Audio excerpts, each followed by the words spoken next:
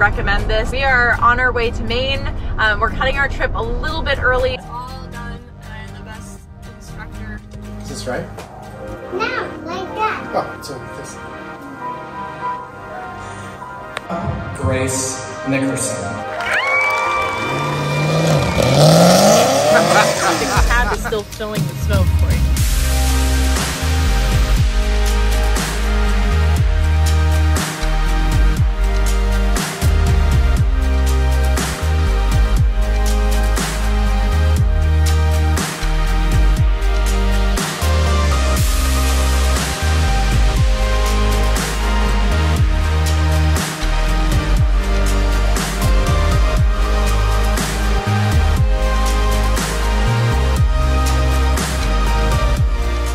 So we can't imagine a better way to wrap up our Outer Banks trip on Kitty Hawk than at that competition with a friend that we haven't seen in years. It, it was just very, very interesting. I feel like it tied it all together in a way that we could have never have planned. And that happens pretty regularly in our travels. It's been amazing as we've Yeah. like looked back over the last four and a half years of all the situations. So best possible scenario for how we wrap up our trip in the Outer Banks. We are heading out today.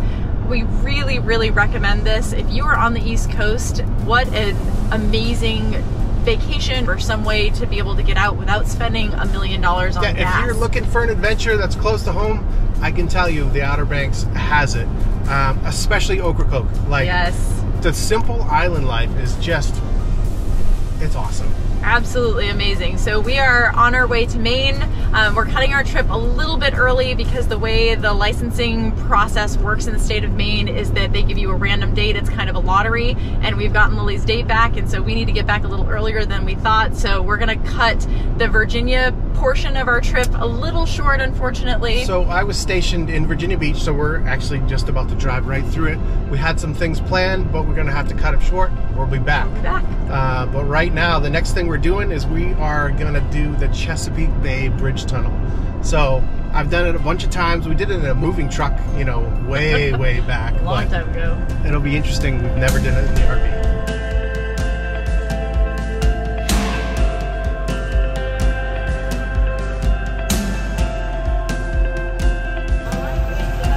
Thank you very much.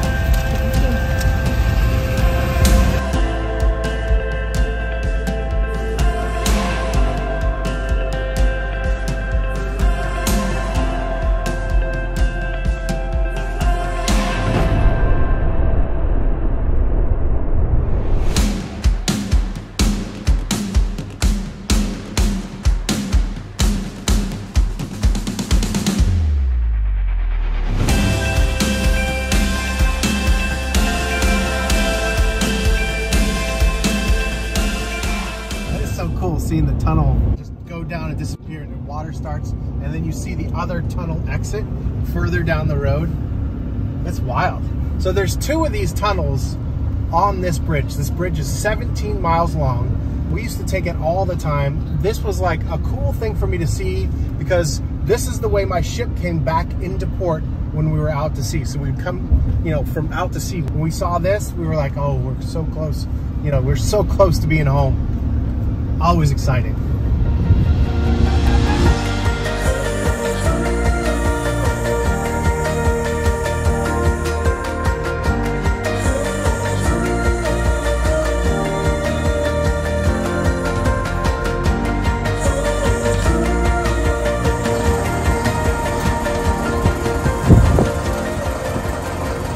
Uh, oh gosh, it's gonna shut off on me. That was not sped up, that was real time.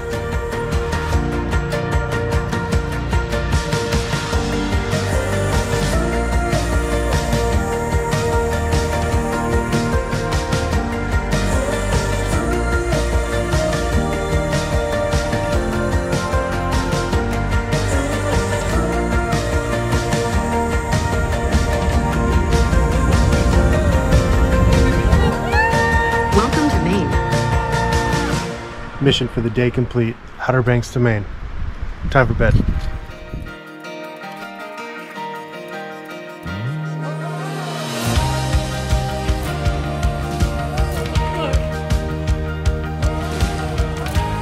Awesome. right, so we're at our good friends Jeff and Katie's house. They are just so awesome that they give it to us whenever we come here. So we end up coming here at least once a year, it seems like. But the main reason that we came to Maine was to get Lily's license, and she got it. Um, She sure We are so proud of her. Hi. Fun yet? so much fun. We just have a little support group going on out here. How'd we do? I see smiles. But I got it. Good job, baby. Congratulations. Nice. How do you feel, Lily? Like better than I have since last time we were in Maine. This whole time, all she's been thinking about is getting her license, so she hasn't been able to focus on anything No. else. Now you can actually enjoy. We're home, Lily. I can enjoy food. Well done. All done, and I had the best instructor ever. Awesome. Awesome. Well done, honey. So proud of you. Another reason why we were coming back to Maine was to be able to celebrate our niece's graduation from high school. Again, it's one of our most favorite things is being able to come and celebrate these milestones of family members that now live across the United States. The girls were so excited to be there with their cousin for this really, really special event. And yet another reason why it's important for us to come back to Maine at least once a year is that we are getting all of our appointments taken care of. So this is when we come home and do our doctor's appointments, our dentist appointments, eye appointments, all of that kind of stuff. We get this question asked all the time like, how do you guys take care of that on the road? And the answer is those major, like, yearly appointments, we just schedule them. We know when we're going to come home to Maine and we get that scheduled, and then we're all set. Obviously, if an emergency happens on the road, you just deal with it on the road. That's only ever happened to us once. um, as reckless as we seem. We're not. we're not that reckless. So the one issue that we ever had was like our very first year was it back in 2018. She got a UTI. As far as emergency goes, it yeah. wasn't that bad, except that we were I at mean, the it was ranch. bad, it was but- bad, but it could have been worse. The issue was that we were at the ranch and we were about two hours away from any doctor's office that was open. Um, so it was a little bit of a scramble to get out of there. But again, it's just one of those things that you just have to stay calm, figure it out, and take care of it. And thank God nothing else has nothing else has come up. Yep. So we typically don't actually film when we come back home. This is like what she just said to take care of business and to spend time with family and friends. But we did film a little bit uh, just because I love boats and my dad just got a new boat. This has got a little a dinette. I know, right? This is cool. Oh, go in there. There's a whole room under there. There's an entire like, like a whole bed right underneath there.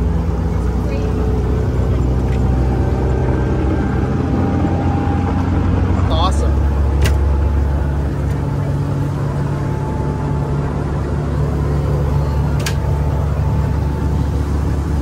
And my brother's got a boat, so we were able to get out on the lake and spend some time on Big Sebago. So Big Sebago is the lake that got us dreaming about this lifestyle. Mm-hmm. So it was awesome to just be on the lake and just just spend time with the cousins, the nieces, the nephews. Mm-hmm. So that's really what we've been doing. Okay, so here we are at a major milestone in Lily's life and my life. Our life. Lily, Lily got her license. She just got her license, and this is her first drive alone. And that's why it's a major milestone for me because I'm I'm letting her out into the wild, and this has never happened before, other than on a bike. you can still see me. this is a, this is a big deal, uh, and it's the culmination really of our, our trip to Maine. Why we came to Maine, um, it was to get Lily's license accomplished. I don't know if you can tell, but I'm nervous. I'm not. I'm not. I'm not fine. nervous. We're here. Okay. She's going. Congratulations, Lily.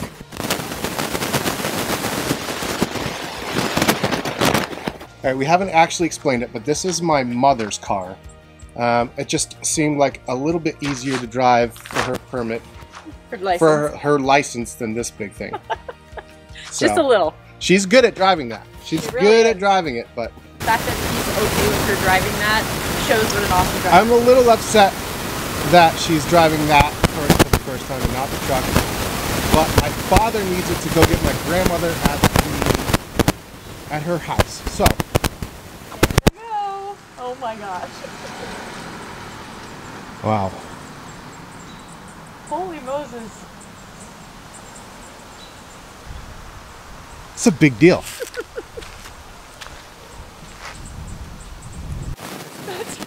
That's a big deal. Okay. All right, as you can tell, uh, we're still being plagued with some issues with some of our audio clips. Uh, I am grateful that that one you can at least hear a little bit because all the other ones you couldn't hear anything. Mm-hmm. And that one was personally just very important. Nothing to do with the vlog. That was just an important moment of time. So I'm just grateful that that one at least is hearable. Yes.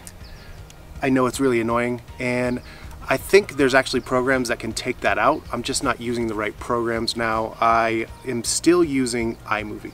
Since we were so far behind, I didn't even bother trying to learn a new program. So since the beginning, we've just been on iMovie and uh, I think it's time to change. It's I'm time gonna- time for a change. I think I'm going to switch over to Final Cut. But again, we're just grateful that that piece was usable. Um, I really wanted to remember that, and it was it was just a, it was a special moment. So Really, really good memory.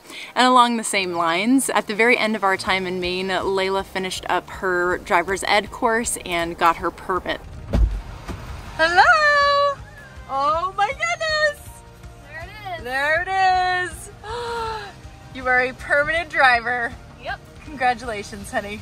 Well done. That was a lot of work. We officially have two drivers in the house right now, and everything that we went to Maine to accomplish got accomplished. So that was amazing. so yeah, this is that's not Maine. This is out west, and we're gonna get to that in a, in a little bit. But um, we really got excited to share Yeah. where we are headed for the rest of the summer. It's it's coming, guys. All right, so one other bonus of coming back to Maine and the timing worked out perfect was my brother's shop, 320 Ink, was printing our It's Better Outside shirts. So we were able to go and, and do the entire process beginning to end. So I don't know if it's as fascinating to you as it is to me about the entire process of screen printing. So there's quite a bit. There's a lot of different screens. Each color gets a different screen. And I'm gonna just start roughly, quick from the beginning, what are the stages of making a screen and, and all the way through the process. So first you start with a screen, it's a mesh. You print what you want on it and then it goes into a UV light and that the stuff that is not printed on hardens and then you simply rinse away what was printed. That's what allows the ink to go through that section of the screen and not the rest of it. All right, so if that made any sense, um, all the different stages, each different color gets a different screen. So it is a long, long, It's a long process, process. If you have multiple colors in your logo, which we do. And my brother's got multiple big presses. I mean, he's got huge equipment. It's fascinating to watch. It's fascinating to be a part of. And I've always enjoyed it. My brother's had this company for the past 12, 15 years, but when you're seeing your own shirts being printed on it, it's a, it's a whole different experience. It's unbelievable, especially for Lily to sit there and watch something that she designed get printed out onto something that we're gonna walk around and wear. It was just, it was really special for her. And then as parents, it was just a really proud moment to see her be able to experience that. It was awesome. So along the process of, you know, the screens getting the ink onto it, then like how does it not stay sticky? It has to be cured again. And that's where my brother's company name comes from. 320 ink stands for 320 degrees. It takes 320 degrees to cure the ink on the shirt. So it's it's there forever. We've actually gotten a lot of questions about that. So if you were wondering what 320 means on different shirts and things that we wear all the time, that's what it means. Yes, he's also got all sorts of cool stuff.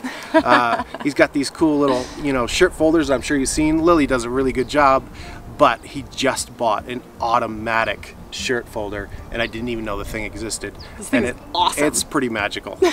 it's really really cool i think the coolest part for us in being able to be there for this process was that we got to see all of your names come through for everyone who had made a purchase of the shirts for it's better outside and layla and i were the ones that packaged every single one of your orders and shipped them out and it was just so amazing to see where all these were going all across the country some to other countries days. And we're just so grateful for all of you that ordered and are sharing our message that it's better outside. And at this point, it's been awesome to see all the photos that you guys have sent in about, you know, all the places that the shirts have been already. So It's amazing. it's it's pretty special. Thank you so much. Uh, and one of our FOS crew members was able to stop by, literally hot off the presses, grabbed one of the shirts. We didn't even have to ship it. They just stopped by and grabbed it right at the shop. Amazing. They were camping 15 minutes from the shop and they the were the very, very first people to get their shirts. It was awesome. Okay, we've been getting tons of questions and emails about when the store is going to be open again. Our store will be open again in the fall, right before Thanksgiving. So we just want to make sure that you guys have all of your orders before Christmas. We're so excited to be offering sweatshirts and long sleeve shirts and hats this year. A ton of you have begged for long sleeve shirts, so we hear you and we're going to be making sure that those are available this year. And Lily is actually making a couple revisions as well for this run. So be looking out for that announcement on YouTube and on all of our social media pages. Another good thing to do when you're home is go to a trusted mechanic. So hmm. we went to my diesel mechanic that we've known for years and years and years to get some some stuff taken care of. We had a check engine light. It was the EGR bypass valve. So it wasn't. It was just emissions related. It wasn't. It didn't hinder the truck at all. But we wanted to get that taken care of. So Right. while we were there, got it taken care of. Um, and while they were in there, they saw a crack in our downpipe. So the crack was actually causing it to just slightly smoke uh, when it was in regen, which is uh, what diesel trucks do to clean out its exhaust system. Uh, kind of a long, complicated, unnecessarily complicated system. Um, but we, we got that taken care of. Unfortunately, they did not have any of the OEM downpipes. So we just put uh, an aftermarket, a really nice aftermarket one on. And I'm sure you saw in our intro that uh, our truck was smoking like crazy. That wasn't from the crack, that was actually after we put the new part on. Um, there were some discrepancies on the install manual whether to put the OEM donut gasket back in. The other manufacturer said no, clearly it was supposed to go in there. So it made it look really bad, but it wasn't as bad as it seems.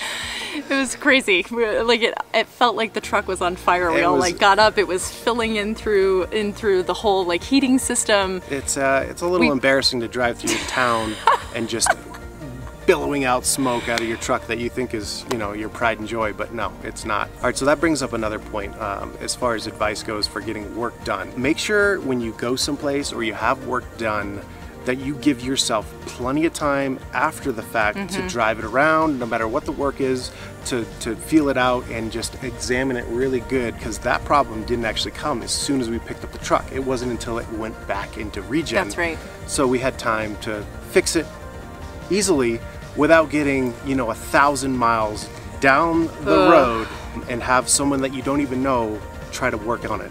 Exactly, because stuff happens. Like things go wrong. Yeah, there's different happen. parts. Accidents happen, and even if you have to change your plans or extend your stay somewhere, it is always going to be worth it. So. Always give yourself that amount of time. Try to plan mechanic things that you're trying to take care of when you have enough time to be able to get the work done and test it afterwards. All that to say, give yourself some time after you have any kind of work done on your RV or your vehicle. Give yourself time to check it over and make sure nothing is wrong. In next week's episode, we are starting our journey out west and we have a major issue on the road that we have never experienced before. Yeah, not fun. but we're here, so obviously we've made it. we want to know what are your favorite underrated national and state parks. Um, and leave it in the comments. We, we really want to know because we want to go to these places. And we i've always kind of said that i would never say this but we get so many comments. People are like oh i didn't even realize i wasn't subscribed to you. I've just been watching your videos so if you don't mind can you check to see if you're subscribed? Because it really helps us out. Absolutely. We are so excited to share all of our journey for the rest of the summer, and we'll see you next week.